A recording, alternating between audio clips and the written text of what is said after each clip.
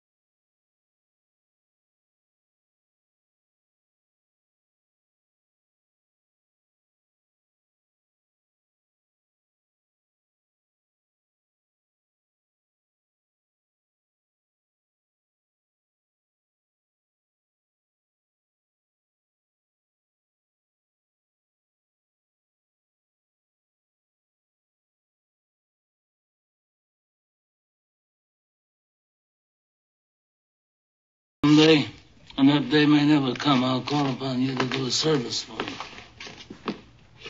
But uh, until that day,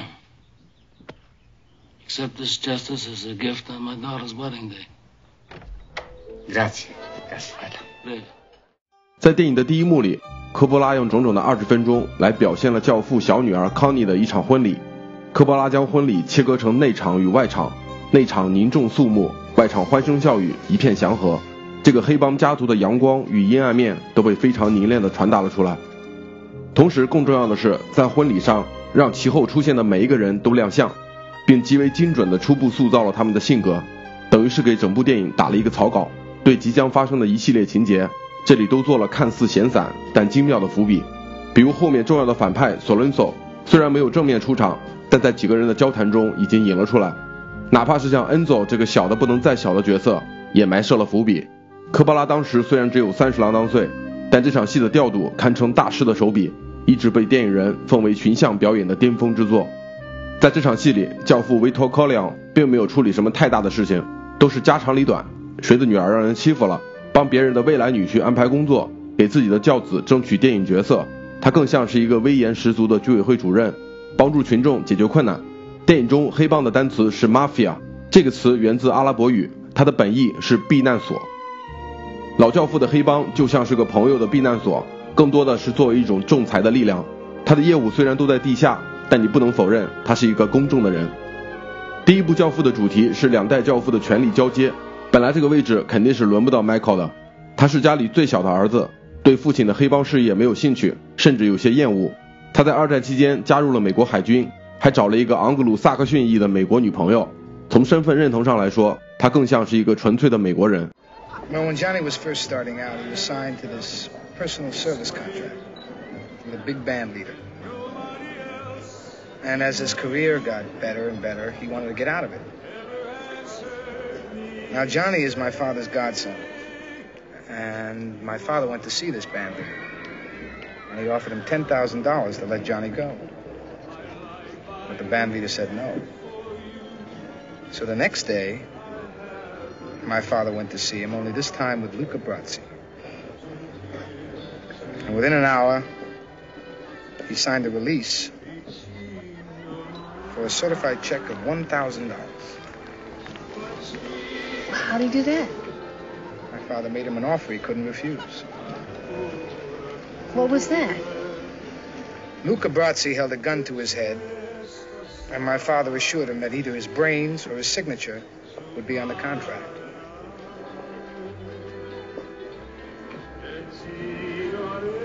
That's a true story. That's my family, Kay. It's not me. 除了人物的塑造，这一段里还有一个重要的信息，就是家族。教父三部曲里最重要的内核，不是江湖仇杀，也不是人心险恶，而是牢不可破的家族观念。在集体照相的时候，Michael 还没到，老教父就拒绝合影。片子中出现最多的词也是 family。教父三部曲人物众多，关系极为复杂。但都紧紧地围绕着家族这个主题展开，理解了家族，也就理解了教父。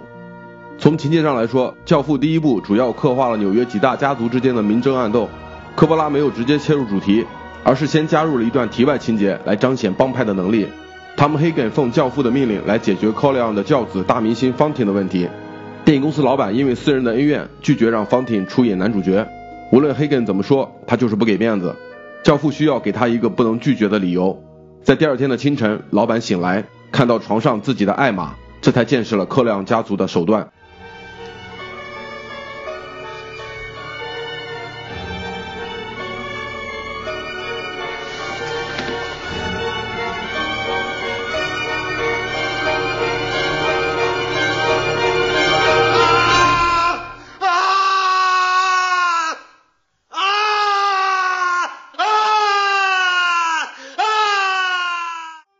这段戏与主干情节没什么关系，但短短几分钟就让你认识了这个家族深不见底的邪门能力。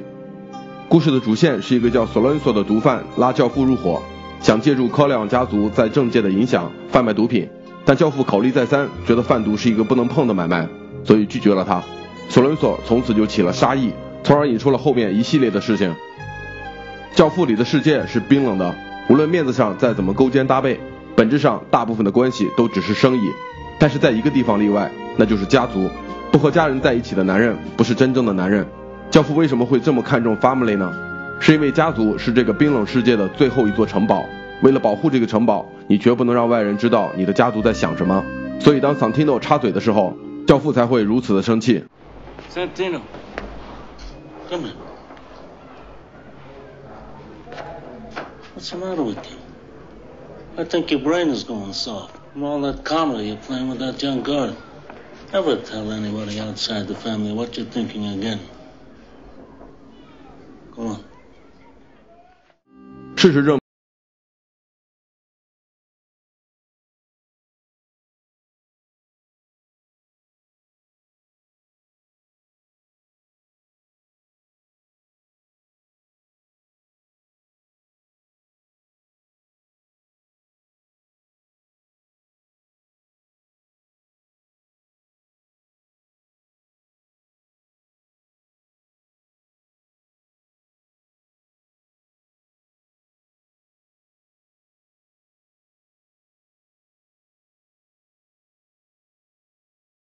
Just lie here, Bob.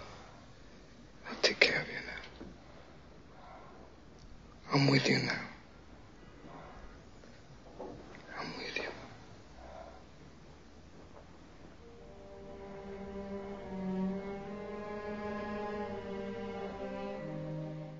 也就是因为这个事件，Michael 发现了自己都没有意识到的能力。在危机来临的时候，他的脑子异常的清醒、聪明、机警、沉着，仿佛是他与生俱来的天赋。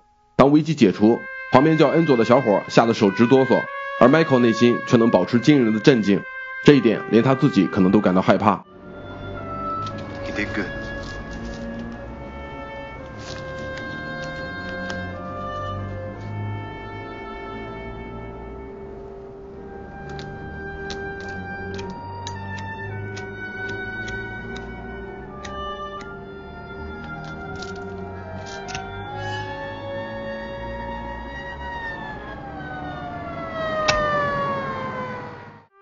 下一场重头戏就是 Michael 去刺杀索伦佐与那个腐败的警察。当他说出自己的刺杀计划时，所有人都笑了，他们不相信这个学生仔可以完成这件事情。而 Michael 的回答俨然就是下一个教父的风范。It's not personal, Sonny. It's strictly business. Michael 来到事先约定好的地点，这场戏最可关注的就是科波拉对于音效与人物情绪的把握。请注意背景里的火车轰鸣声，这个声音大部分时候是不存在的，只有在 Michael 激烈心理活动的时候才会响起，在刺杀的那一刻达到了最高潮。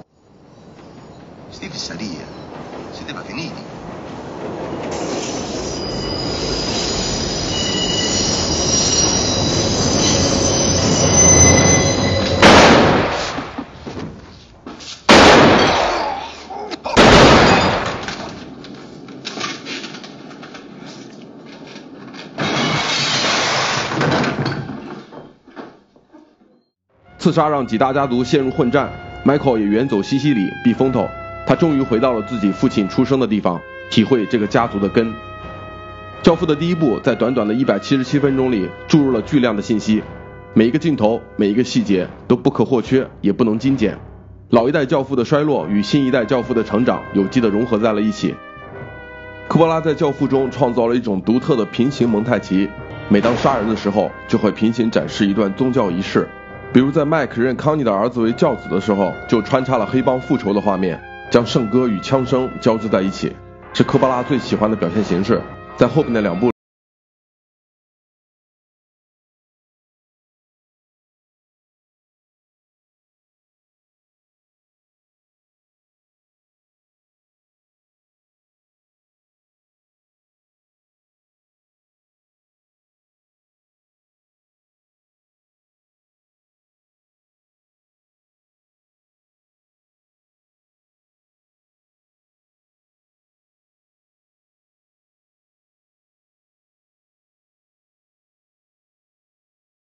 The Lord be with you.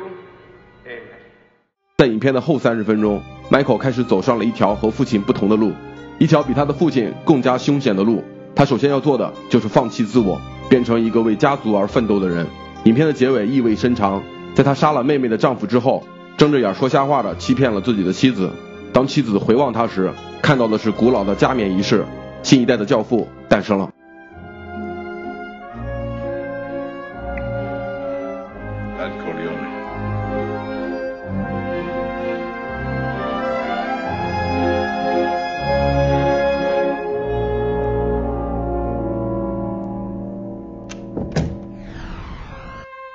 父二》，一九七四年作品。因为《教父》第一部史无前例的成功，原来的受气包科波拉变成了派拉蒙眼里的香饽饽。过了两年，《教父》的第二部就飞速的出炉。这次科波拉不再像两年前那么憋屈，他获得了最大限度的资源支持，预算也飙升到了一千三百万美金，算是那个年头的大制作了。《教父二》将大部分的镜头对准了新一代的教父 Michael Corleone，虽然中间也穿插了老教父的奋斗史，但更多的是用来映射 Michael 的内心。从我个人的情感上来说，三部曲里我对这一部的感受更深。虽然情节上比第一部要慢许多，时长也被搞到了史无前例的三个半小时，但 Michael 的内心刻画极为细腻，是无与伦比的艺术精品。三个半小时，我一秒钟都不想快进。故事紧跟《教父》第一部的结尾，在一场腥风血雨之后，Michael 加冕成为新一代的教父。第二部里，老教父 Vito 与新教父 Michael 的故事是穿插着讲的。为转述的方便，我按照时间线重新梳理了一下。先简单说一下老教父 Vito c o l e o n 的奋斗史。意大利的西西里岛是一个多山的地区，这是一片让人心酸的土地，世代受着强权的欺压，所以就产生了很多的地下组织。山区的地理条件也催生了黑手党。一九零一年，Vito 九岁，他的父亲和哥哥因为冒犯了当地的黑手党头子而被杀死。母亲带着 Vito 来求情，，boss 担心维托长大之后来复仇，想把娘俩都杀了。维托在好心人的帮助下逃了出来，登上了前往美国的船。维托·科里昂无依无靠，在纽约的意大利聚居区安静的生活，娶妻生子。在他二十五岁的时候，一天店主来告诉他，这一片的老大法努奇要安排他的侄子来代替维托。维托虽然知道这很不公平，但他明白在没有力量的时候，自己的自尊一文不值。他虽然还只是个打杂的，但谈吐间已经有了教父的风范。E você c'aveva dato il travaglio a me. E você è stato sempre buono con me da quando ero picciriccio. E mi era Valencia ed ero come un pazzo. E io la ringrazio. E io non mi scordo. Mm? 一个偶然的机会，维托发现自己很有犯罪的天赋，但他是一个有原则的罪犯，从不欺压穷人。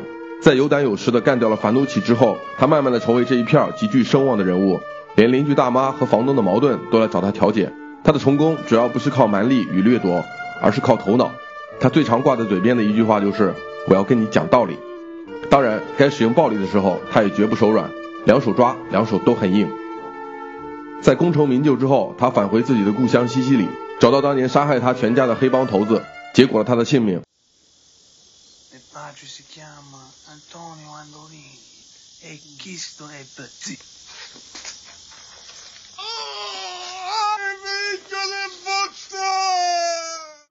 老教父的创业故事更多的只是《教父二》中的一种隐喻。科波拉全力刻画的是新一代的 Michael Corleone。在老教父的世界里，人情世故是一种很真切的存在。黑手党也是有原则的，即使在帮派之间，也基本是讲规矩、讲人情。这有点像我们的春秋时代，诸侯国之间还是有礼乐作为润滑剂。但是到了 Michael Colleon 的时代，就像来到了礼崩乐坏的战国，一切都是利益与诡诈，已经没有什么温情脉脉的东西了。Michael 迎来了新的时代，也迎来了新的挑战。这部里他主要的行动目标是将家族的生意合法化，所以他选择离开了纽约，来到内华达州的拉斯维加斯，涉足蓬勃兴起的娱乐休闲行业。在上一部里基本没有出现什么政界人物，这部里政治成为非常重要的元素，各方势力对权力展开你死我活的争夺。故事依然是从一次盛大欢乐的宴会开始，形式和第一部一模一样，状况主要是一外一内。外部的威胁是那个参议员，有一个小细节，在他谈话的时候，参议员摆弄桌上的大炮模型对准了 Michael，这暗示着政治力量一开始就对 Corleone 家族非常的不友好。不论 Michael 赚了多少钱，在参议员眼中，他依然是一个有污点的黑帮头子。内部的威胁来自于帮派中的老人 Frank，他因为纽约的利益纷争来找 Michael 诉苦，内外两方都是杀气腾腾。Michael 不再是他老爸那种居委会主任式的保护人。而真正的成为一个深陷内外漩涡的黑帮头子，他曾经答应妻子的话，看来是说的太大了。真实的情况比他想象的要复杂的多。It made me think of what you once told me. In five years, the Corleone family will be completely legitimate. That was seven years ago. I know. I'm trying, Doc.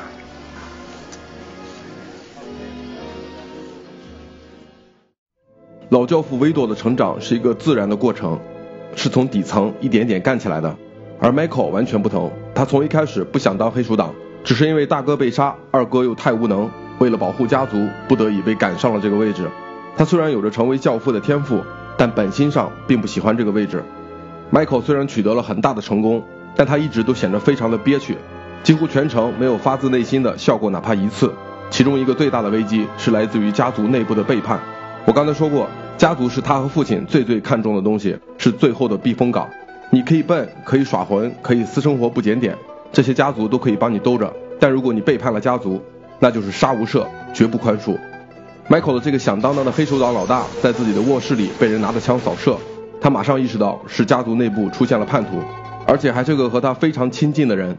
教父二的最核心的情节就是找到家族内部的这个叛徒。他之后跑到迈阿密去找犹太人海门罗斯。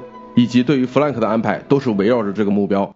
He taught me keep your friends close, but your enemies closer.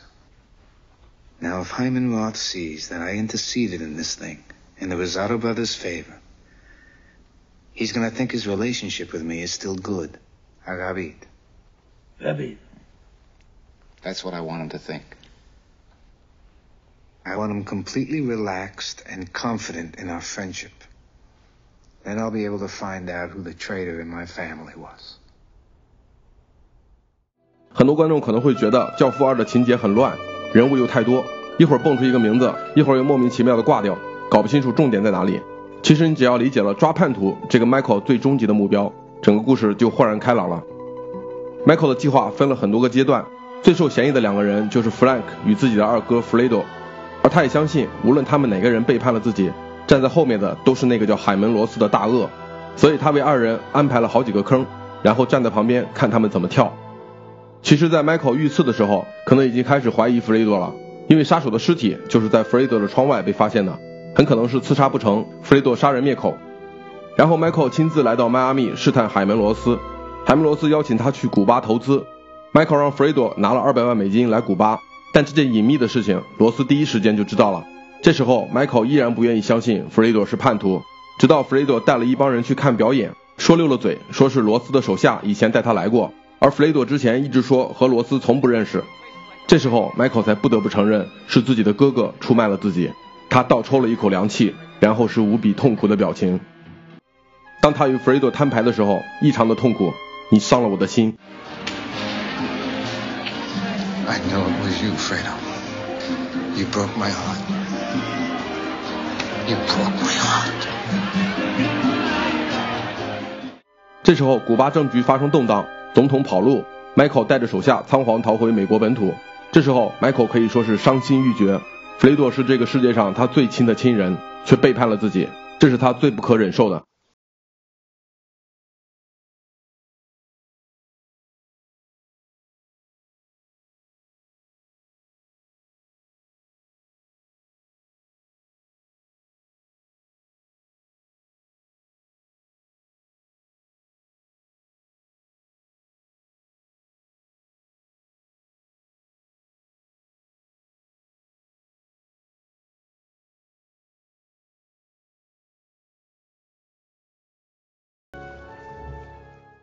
但就在这时，又一个打击降临。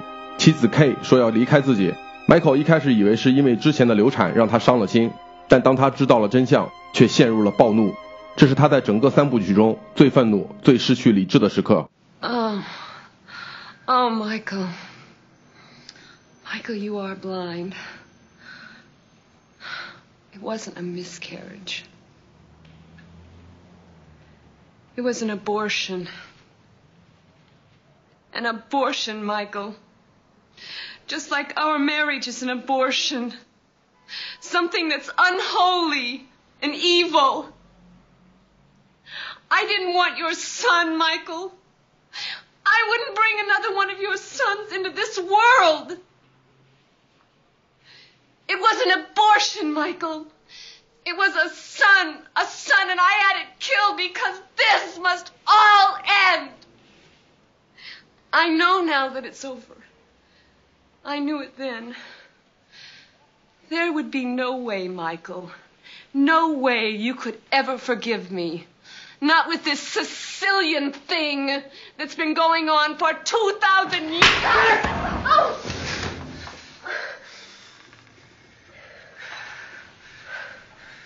You won't take my children.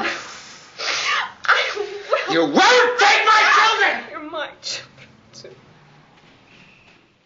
妻子的表现在 Michael 看来，无疑也是一种背叛。他一直力争上游，自强不息，换来的却是背叛。他获得了无上的权势，也成为了孤家寡人。但 Michael 强硬的性格告诉他，生活还要继续，他要杀出一条血路。If anything in this life is certain, if history's taught us anything, it says you can kill anyone. 在怎样处置哥哥弗雷多的问题上，科波拉与小说的作者马里奥·普佐产生了很大的分歧。科波拉主张宽恕，但普佐说弗雷多必须死。最后二人达成了妥协。在母亲去世之后，他让 Michael 对弗雷多动手。这段戏是整个第二部的结尾。当湖上的枪声响起，Michael 低下了头。当回到卧室里，他成为了世界上最孤独的那个人。这时候他又想起了自己年轻的时候一场父亲的生日晚宴，那时候大家都其乐融融。他刚刚报名参加了海军，马上就要为国征战。他的心里无数次的告诉自己，我的命运由我自己来掌控。现在是广告时间，关注电影最 top 的微信公众号，会有更多精彩内容。除了周三与周日的视频节目，还会每周分享院线新片感受，推荐经典佳片与精彩台词，时不时还荒腔走板的聊一聊音乐，不吐槽也不毒舌，安静的看看电影，品品生活。《教父三》，一九九零年作品，《教父》的前两部只相隔了两年，而这第三部却等待了十六年。这时候，所有的人都老了。开头的几个镜头是纽约一栋萧瑟的老房子，时间让它蒙上了厚重的尘土，就像一个暮年的老人。这栋老房子就象征了一个辉煌家族的衰败。这时候传来 Michael Corleone 低沉沙哑的声音：“My dear children, it is now better than several years since I moved to New York, and I haven't seen you as much as I would like to. I hope you will come to this ceremony of papal honors.” given for my charitable work. The only wealth in this world is children. More than all the money and power on earth. You are my treasure. Anthony and Mary, although I entrusted your education to your mother for your own best interests, you know how I look forward to seeing you and to a new period of harmony in our lives. Perhaps you might prevail upon your mother to come to this celebration. And then from time to time, we can all see each other at family functions. Anyway, I remain your loving father. 电影的一开始依然是一场宴会，Michael 已近暮年，在自己的圈子里可以说是功成名就，开创了比他的父亲大得多的局面，但他的原罪依然存在。在外人的眼中，黑帮老大的标签一直无法抹去，所以他继续为家族的合法化而奋斗。这次他看中了梵蒂冈教会这条路子。Michael 想通过注资由教会控制的毅力公司来达到洗白的目的。一开始大主教给他授予的勋章算是合作的见面礼。他本来以为事情已经板上钉钉，自己卖掉了所有黑道相关的生意，还捐助了大量的钱搞慈善。Michael 觉得我已经这么有诚意了，白道那帮正人君子该接受我了吧？We've sold the casinos. All businesses having to do with gambling. We have no interest or investment in anything illegitimate. Corleones are prepared to deposit $500 million in the Vatican Bank at such time as Mr. Corleone receives majority control of Immobiliare. Immobiliare could be something new. A European conglomerate. Few families have control of such a company. 但接下来他却碰到了一系列的困难。Michael 慢慢的发现，白道比黑道还要黑，自己陷入了一盘很大的棋里边，成了被耍的凯子。《 教父三》里有一句重要的台词：“政治与犯罪本来就是一回事。”第三部更加深入的切入到资本主义的机体之中，光鲜亮丽的皮肤之下，全是阴险的算计与肮脏的交易。除了家族外部的危机，家族内部的事情也让 Michael 操碎了心。大儿子安东尼和 Michael 年轻时候一样，对黑帮事业充满了厌恶。小时候被暗杀的记忆让他无法忘怀。他醉心艺术，想要成为音乐家。If you have a law degree, taking out insurance. After that, you can do anything you want. You can work for me. I will never work for you. I have bad memories. Every family has bad memories. 女儿 Mary 爱上了自己的堂兄，也就是 Michael 大哥 Santino 的私生子 Vincent。顺便提一下，Mary 是由导演科波拉的女儿 Sofia 科波拉扮演的。可能就是因为这层关系，她被观众一顿狂喷，说她不会演戏。 但我觉得他表现的算不上多好，但也不至于那么差。Vincent 本来是家族里的边缘人，像他的父亲一样，是个性子异常火烈的野马。但 Michael 四下看了一圈，除了 Vincent，没有另一个人可以继承这份家业。所以他把 Vincent 安排在自己的身边，边观察边培养。在这部终结篇里，你能发现 Michael 这个曾经叱咤风云的教父颓了，他已经不再年轻，孤独磨蚀了他的激情。这同时也是三部中 Michael 感情最外露的一部。在第二部中，无论经受怎样的打击，他的眼神一直都像一只狮子，沉着而狠辣。而当他面对自己成年的子女与多年未见的妻子，却充满了无限的温柔。当他们回到西西里岛。参加儿子安东尼的首演演出，在酒会上，安东尼说要献给父亲一首歌，他拿起了吉他，唱起了古老的西西里歌谣。Michael 在歌声里想起了自己的青年时代和自己的第一任惨死的妻子阿布罗尼亚。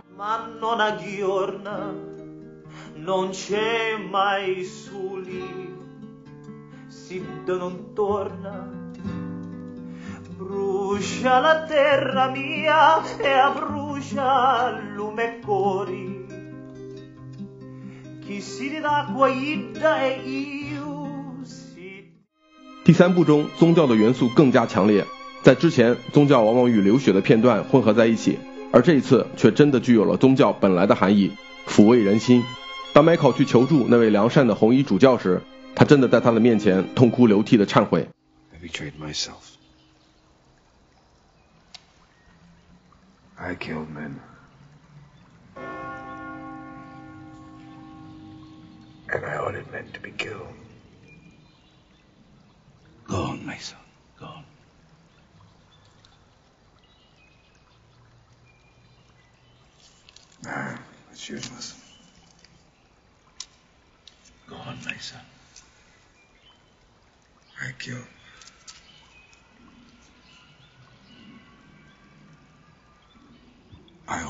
Death of my brother. He injured me. I killed my mother's son. I killed my father's son.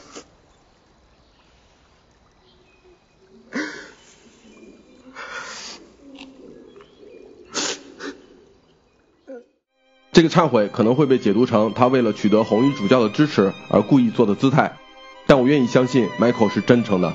杀兄是西方文化中很重的罪，杀死 Fredo 一直是压在他胸口的大石。他第一次在神的面前袒露了自己。如果这都是伪善，那这部电影也太黑暗了一点。黑帮电影里经常喜欢说一句台词：“人在江湖，身不由己。”暮年的教父更深刻地体会了这句话。多年的经营让帮派间的利益盘根错节。权力的交接过程不可避免的又洒满了鲜血，再一次，Michael 又失去了一切。当女儿 Mary 在歌剧院的门口中枪身亡，Michael c o l l e o n 的灵魂在这一刻彻底的死了。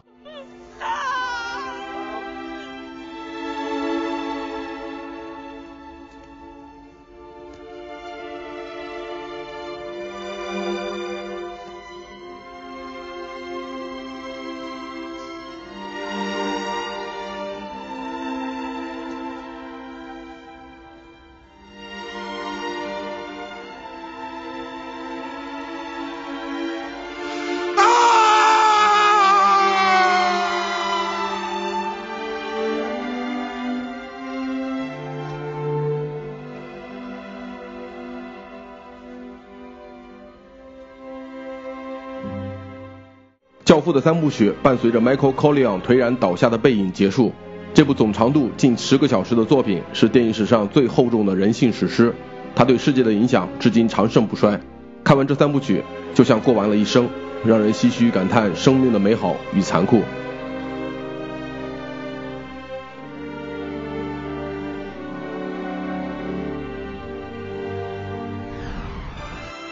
感谢收看电影对 Top。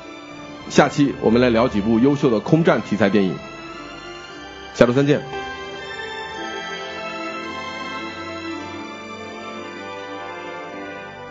拜拜。